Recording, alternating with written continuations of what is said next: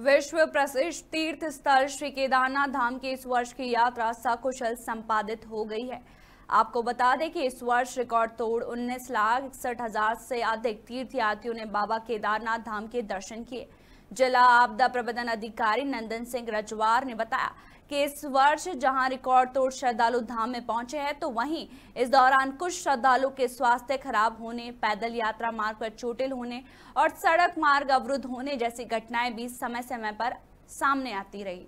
जिसके लिए पूरे यात्रा मार्ग पर एसडीआरएफ, एनडीआरएफ और अन्य टीमें भी तैनात रही।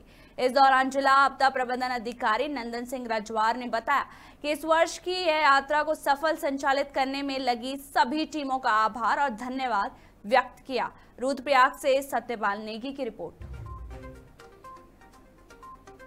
इस साल श्री केदारनाथ धाम की जो यात्रा थी वो सकुशल संपन्न हुई है, जिसमें कि उन्नीस लाख इकसठ हज़ार से अधिक लोगों ने यहाँ के बाबा केदार के दर्शन किए हैं।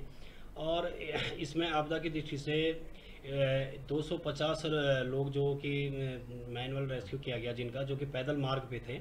और पैदल मार्ग पर चोटिल और बीमार होने के कारण जो हमारी टीमें लगी थी वहाँ पे S D R F N D R F और वाई एम एफ़ और डी डी आर एफ़ और पी आर डी और पुलिस के जवानों के द्वारा उनका रेस्क्यू किया गया और 130 लोगों का जो हेली के द्वारा रेस्क्यू किया गया, वो गंभीर घायल होने के कारण उनको त्वरित उपचार के लिए हायर सेंटर भेज दिया गया। यात्रा संपन्न होने के लिए जिला प्रशासन और पुलिस प्रशासन और अन्य हमारी जो कार्यदायी संस्थाएँ हैं, उनका भी महत्वपूर्ण सहयोग रहा है, जिसके लिए आपदा प्रबंधन विभाग से सबका धन्यवाद।